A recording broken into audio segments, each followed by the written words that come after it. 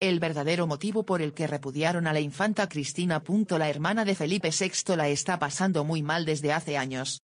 La infanta Cristina ha vivido una caída en desgracia que la alejó del núcleo más cercano al trono, marcando una profunda ruptura dentro de la Casa Real, el verdadero motivo por el que repudiaron a la infanta Cristina. Uno de los factores que ha sido clave en el repudio hacia la infanta Cristina fue el caso Nos, en el que su marido, Iñaki Urdangarín, se vio implicado en un escándalo de corrupción que sacudió los cimientos de la monarquía. Urdangarín fue condenado por malversación de fondos, fraude y tráfico de influencias, y aunque Cristina fue absuelta de los cargos en su contra, la mancha de este proceso judicial dañó de forma irreversible su imagen y, por extensión, la de la Casa Real.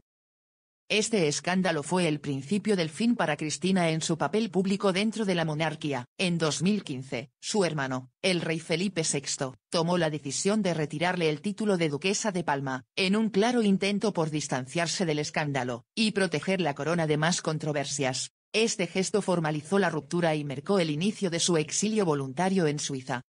Sin embargo, el caso Noos no es el único motivo detrás del repudio hacia la infanta. La relación entre Cristina y Leticia Ortiz, esposa de Felipe VI, ha sido siempre tensa. Fuentes cercanas aseguran que ella nunca apoyó el matrimonio de su hermano con la entonces periodista, y en su momento intentó convencerlo de que no se casara con ella. A diferencia de su hermana Elena, que también mostró reservas, Cristina fue mucho más incisiva en su oposición, lo que sembró una enemistad con Leticia que persiste hasta hoy.